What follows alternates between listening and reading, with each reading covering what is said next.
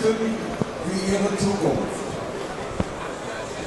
Wenn man die letzten Monate gelesen haben, was die Politik vorhat, ich sage bewusst, nicht durchsetzt, sondern vorhat, könnte man den Glauben an die Politik verlieren.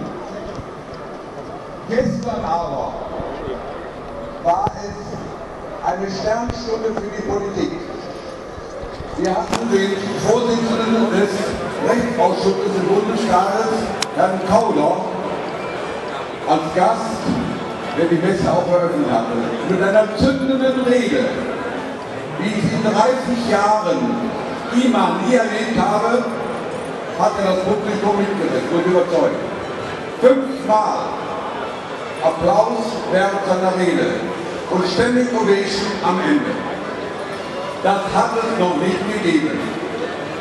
Was er gesagt hat, können Sie gleich im Original hier auf der Bildwand sehen und erleben. Lassen Sie mich aber noch ein paar Worte zu unserer Situation heute und hier sagen.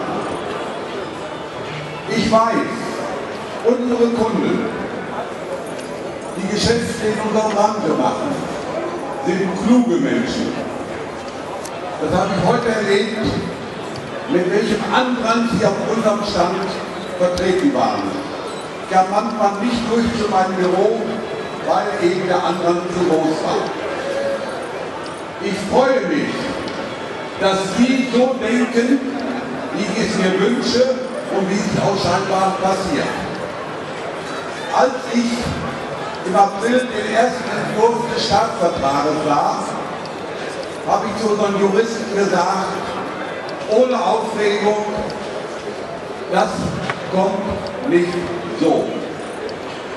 Diesen Krieg, den haben wir uns erklärt, den werden wir gewinnen.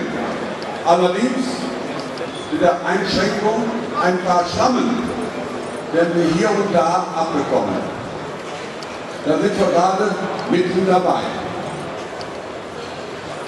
Ihnen allen gebe ich genug Selbstbewusstsein und Verständnis dafür, dass wir in der Tat im Moment in einem bodenlosen und einem schwerelosen Zustand sind.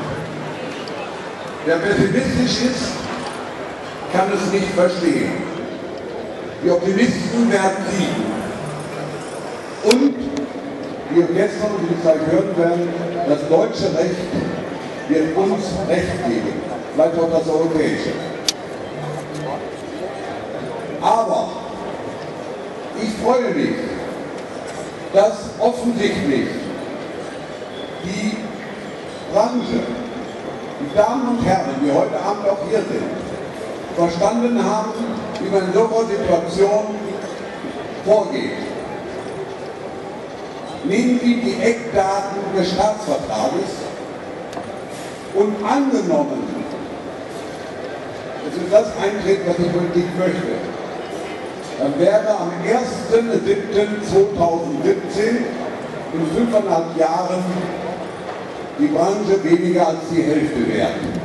Aber bis dahin wird der kluge Kaufmann Geschäfte machen, so gut wie es geht. Das können Sie nur mit den Produkten unseres Hauses optimal. Das haben Sie verstanden, das habe ich heute gemerkt. Und genau so sehe ich das.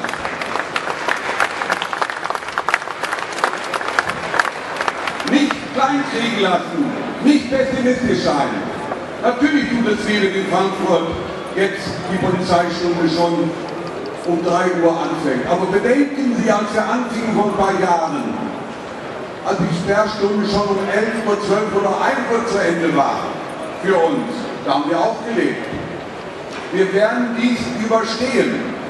Und der dümmste Politiker wird verstehen, dass wenn er uns abschafft und wenn es nur stundenweise ist, dass er dadurch das, was er vorgibt, die Spielsucht zu bekämpfen, im Gegenteil umkehrt.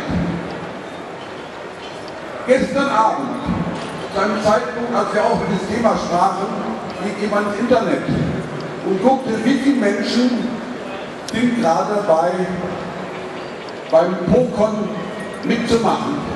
47.000 wurden gezählt.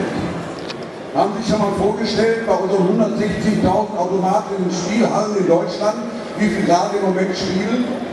Auslastung ungefähr 35, 40 Prozent. Das sind das 50 bis 60.000 Menschen. Da müssen wir Milliarden investieren in 8.000 Spielstätten, um 60.000 Menschen zum Spiel zu animieren. Im Internet braucht man nur aufzumachen und 47.000 kommen und spielen. Das kapieren die Politiker nicht. Noch nicht. Das müssen wir ihnen beibringen. Und wenn das passiert ist, werden Sie sehen, das, was ich schon vor einem Jahr gesagt habe oder heute sage, wenn es unsere Rente nicht gäbe, im regulierten Spieltag 50 Jahren, wo man nicht von einem Messen hohe Verluste in guter Zeit erleiden kann. Wenn es uns nicht gäbe, müsste man uns erfinden, dann könnten wir die Spielfreude vernünftig kanalisieren, ohne dass jemand überfordert wird. In diesem Sinne, einen schönen Abend für Sie alle, schöne Tage und bleiben Sie positiv gestimmt. Wir schaffen diesen